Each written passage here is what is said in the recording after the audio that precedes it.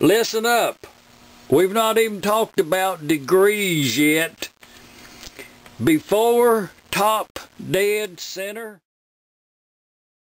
This backing plate right here that I have in hand, I have affixed a degree wheel to the outer edge. I wanted to show you something. This is a 1937 Maytag uh, Merkin Bosch backing plate. You know what we're working on. But I found a center line, top dead center, and the factory put this, they put that little little block on there when they made it, they casted it there. And then they, they put this line across through here. That's the timing mark on a 1937. I believe I'm correct in that. But I fixed the degree wheel, the right proportions, the outside diameter, to get the degrees. And if you if you'll just look right there, uh, that's 10 degrees. Each one of the big ones, that's 5, 10, 15, 20, 25, 30. Also, they have the pins to position the points. It was a fixed, you had no choice with this 1937. And it wasn't a good idea. I, I have touched on that before. On this backing plate here, you could only use one type point set. And it's the one that's got the two holes in it that would fit in those pins. And that, that just, that, you put that on them pins right there, right here and right here.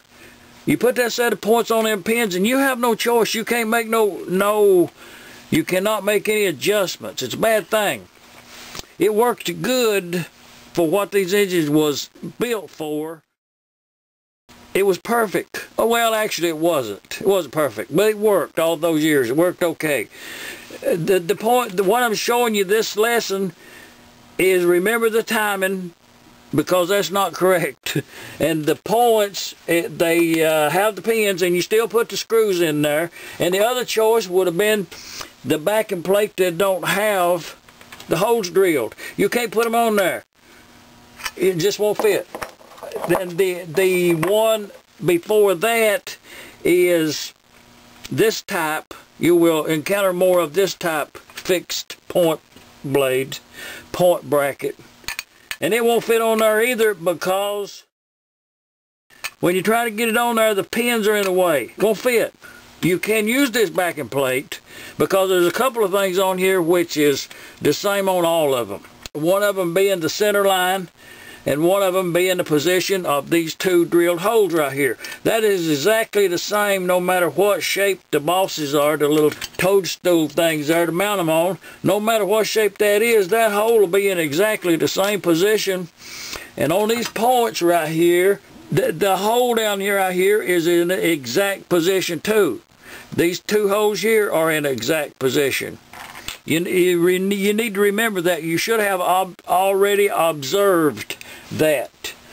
In order to see it better, we might look at this backing plate and this oval shape here and this oval shape here, that's identical on all the points. Another position which is the same and does not vary any at all is this fixed pin right here. That is the same on all of the points. You only have to be careful that that does not that your governor arm don't hit that. Just be careful. But keep that in mind that these two holes and the two holes drilled in the other set and the center pin and the position of the points. This basically they are identical except the shape here. The timing tools that's available on this type points wouldn't work. It works on this type. And I'm going to show you we are going to use two uh, most common point adjusting tools that's out there right now. We, I, we're, we're going to do that. We're going to take the time to do this.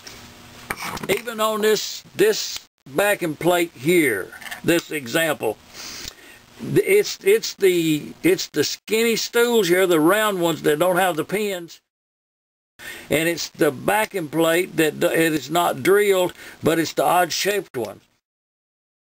I would think this would be a factory installation right here. Good example to go by. And I, and I may keep this as is just to use as an example. But I would probably the downfall of this system right here was that the, the covering got off of that wire. And I think it grounded out right there. I would say that was the only thing wrong with this ignition system. That This wire does have to be covered, isolated electrically. The ground wire comes out on that side over there and comes around and underneath that head on that bolt right there. It's It just makes a loop, a circuit. It's a simple high tension coil. And we are going to do the ohms on it. We will get through that. We are even going to take an extra episode to redo how to do the bench test on the coil and the condenser. We're going to do that. I was aiming to go ahead and uh, adjust these points, but I think we, we would be amiss if we did not explore, even the condenser, that needs to be explored. I'm talking about quickly, but we will explore condenser. Had just fun here in the backyard shop, shop dog Sam. When this roller comes around, y'all see that roller, I'm trying, it's in alignment right there. And you see the way that roller comes around there and hits that lever bar? Uh, that's the way that's supposed to work.